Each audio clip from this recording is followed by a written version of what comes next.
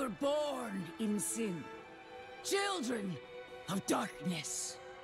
But the Father's light can be sought through penitence and faith. Walk in the light. Reverend Mother, I received a report of a potential demon sighting.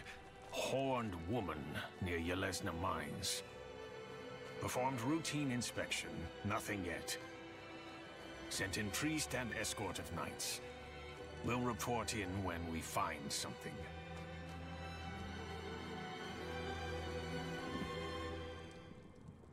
We must be ever vigilant against sin, brother. Yes, Reverend Mother. Let the light of Inarius burn away wickedness. Let not temptation lead you from his holy radiance. Let righteousness sear away corruption and sin. Cast out thy darkness, for only light must remain. Cast out thine darkness, for only light must remain. Is this the one from the west? Yes, Reverend Mother. Did Lorath not accompany you? He sent me on without him. Putting faith in that old man was a mistake. What could possibly be of greater import? Lilith. So, you know.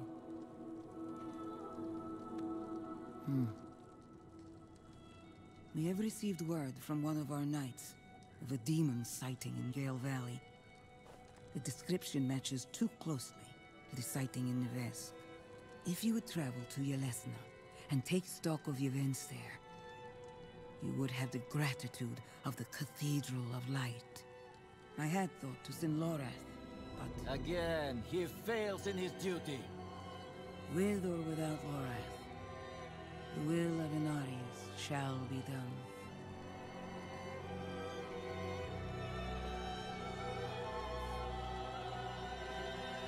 Here, take the knight's report before you go.